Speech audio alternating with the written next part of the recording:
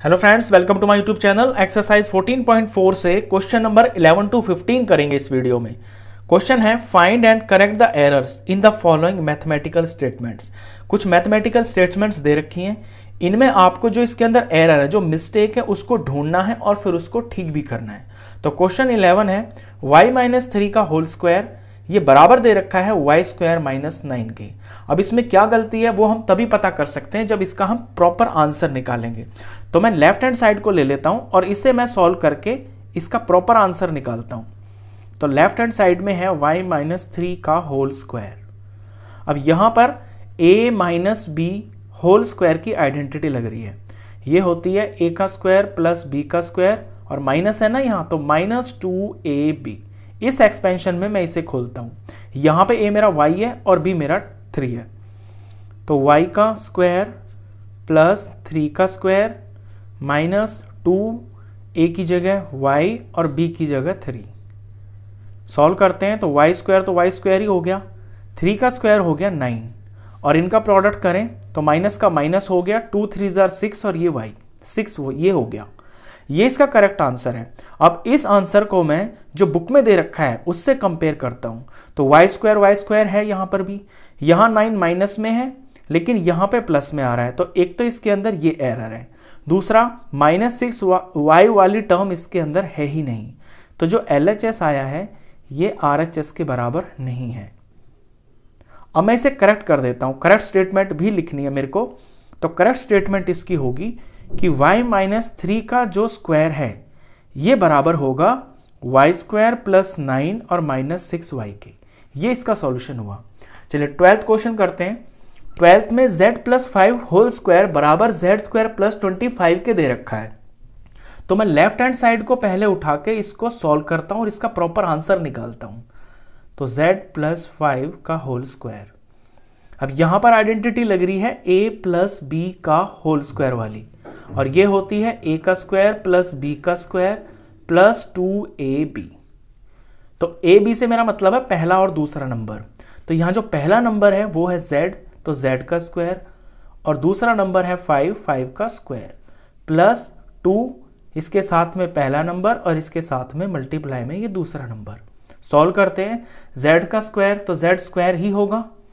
Five का square five into five यानी twenty five plus two five ज़ा ten हुआ और ये जेड हुआ. तो टेन जेड हो गया. ये मेरा करेक्ट आंसर है. अभी इस आंसर को मैं कंपेयर करता हूँ.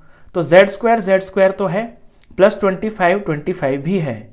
लेकिन यहाँ पे प्लस टेन जेड एक टर्म है, लेकिन बुक में ये नहीं दे रखी है। तो ये इसके अंदर एक मिस्टेक है। तो ये जो मेरा सही आंसर आया है, ये बराबर नहीं है राइट हैंड साइड के।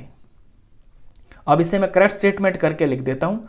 तो z प्लस फाइव का होल स्क्वायर बराबर होगा Z square plus twenty five plus ten Z के। ये इसका करेक्शन हुआ। चलिए इसके बाद थर्टींथ क्वेश्चन करते हैं। Two A plus three B multiply A minus B. ये बाइनोमियल की बाइनोमियल से प्रोडक्ट हो रहा है और आंसर दिखा रखा है two A square minus three B square. तो हम इसका पहले आंसर निकालते हैं। तो लेफ़्ट हैंड साइड को मैं ले लेता हूँ। Two A plus three B multiply by A minus B. अब बाइनोमियल से बाइनोमियल का प्रोडक्ट हो रहा है यहाँ पे। तो इसे जब प्रोडक्ट करेंगे तो पहले बाइनोमियल में से पहले टर्म उठाएँगे। और दूसरा बाइनोमियल पूरा का पूरा इसके साथ में लगा देंगे मल्टीप्लाई में। यानी two A multiply by A minus B फिर ये जो दूसरा वाला टर्म है, यानी थ्री बी ये उठाएँगे और दूसरा बाइनोमियल इसके साथ पूरा लगा देंगे प्रोडक्ट में। अब इसका प्रोडक्ट करते हैं। तो टू ए की पहले ए से मल्टीप्लाई होगी तो ये हो जाएगा टू ए स्क्वायर अब टू ए की माइनस बी से मल्टीप्लाई होगी तो साइन तो माइनस का आएगा। नंबर नंबर हो गया इसमें टू और ये ए और ये बी आगे बढ़ते हैं प्लस थ्री बी की ए से मल्टीप्लाई होगी। तो नंबर तो हो गया थ्री और ए और बी आगे बढ़ते हैं प्लस और माइनस माइनस हो गया और थ्री बी की मल्टीप्लाई बी से होगी।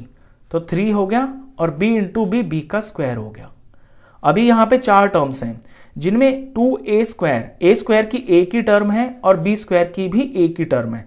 तो इनका तो कुछ सॉल्यूशन होगा नहीं। बीच में मैं देख रहा हूँ कि ए बी और ए बी की दो टर्म्स हैं। तो ये लाइक टर्म्स होगी। तो लाइक टर्म आपस में सॉल्व हो जाती हैं। तो टू ए स्क्वायर की टर्म एज इट इज़ रहेगी और ये प्लस थ्री ए बी है और ये माइनस टू ए बी है। तो लाइक टर्म्स है तो इनके कॉफिशेंट सॉल्व हो जाएँगे। तो प्लस का थ्री और माइनस का टू बनता है वन तो ये वन ए बी हो जाएगा। प्लस का वन ए बी और वन लगाने की कभी ज़रूरत होती नहीं है तो सिंपली मैं प्लस ए बी लिख देता हूँ। आगे as it is three B का स्क्वायर ये मेरा सही आंसर है।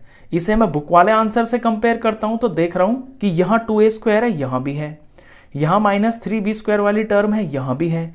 लेकिन यहाँ पर ए बी टर्म है करेक्ट आंसर में, और यहाँ पर ए बी है ही नहीं। तो ये इसके अंदर एरर है। तो ये जो मेरा आंसर आया है, ये बराबर नहीं है राइट हैंड साइड के। अब इसे करेक्ट स्टेटमेंट कर देते हैं।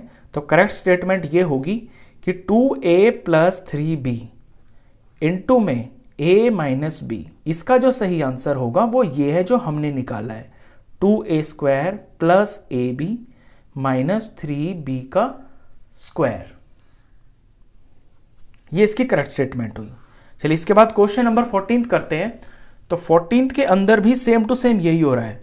ए प्लस फोर को मल्टीप्लाई करना है ए प्लस टू से। तो बाइनोमेल की बाइनोमेल से प्रोडक्ट करनी है। तो सेम इसी तरह से इसका प्रोडक्ट किया जाएगा। तो पहले मैं लेफ़्ट हैंड साइड को उठा लेता हूँ, और ये है ए प्लस फोर और ए प्लस टू इनका प्रोडक्ट करना है मेरे को। तो ए और इसके साथ में अगला वाला बाइनोमियल पूरा का पूरा प्रोडक्ट में। फिर मैं इस फोर को उठाऊँगा साइन के साथ में, और फिर आगे का ये पूरा बाइनोमियल अब प्रोडक्ट करते हैं। ए की ए से मल्टीप्लाई होगी तो ए स्क्वायर होगा। ए की प्लस टू से मल्टीप्लाई होगी तो प्लस टू ए होगा। आगे बढ़ते हैं प्लस फोर की ए से मल्टीप्लाई होगी तो प्लस फोर ए होगा। और प्लस प्लस मिलके प्लस बन गया और फोर टू जार एट हो गया। अभी ए स्क्वायर की यहाँ पर सिर्फ़ ए की टर्म है।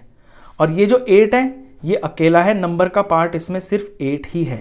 लेकिन बीच में ये जो ए और ए है, ये लाइक टर्म्स होगी तो ये आपस में जुड़ जाएँगी। तो इनका कॉफिशियंट ऐड हो जाएगा। तो फोर प्लस टू हो गया सिक्स प्लस का सिक्स हो गया क्योंकि दोनों प्लस के हैं और ये ए हो गया। तो ये मेरा राइट आंसर है।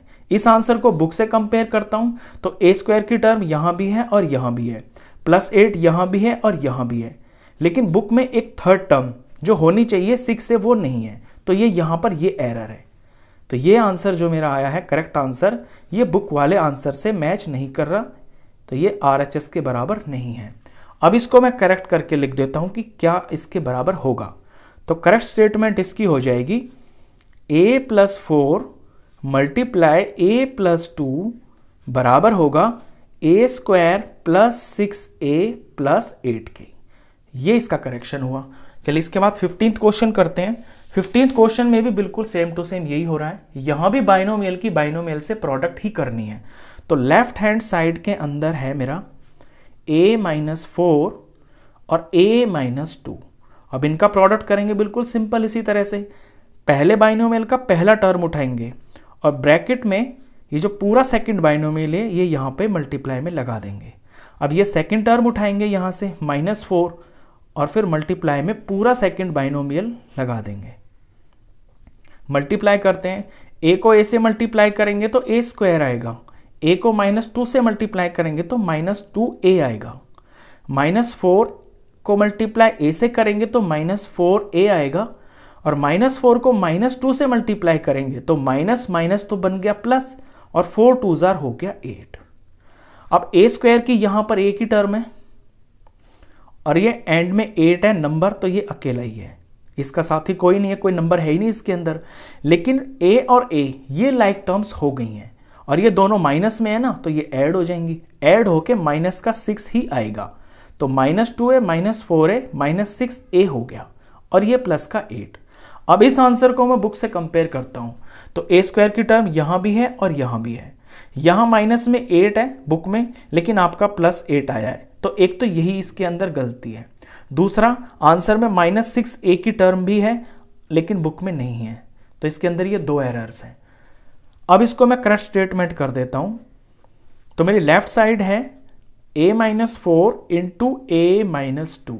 और इसका जो करेक्ट आंसर आ रहा है ये आ रहा है A square minus six A plus eight ये इसकी करेक्शन होगी। तो इस वीडियो में बस इतना ही। नेक्स्ट क्वेश्चंस के लिए मिलते हैं फिर नेक्स्ट वीडियो में। तब तक के लिए गुड बाय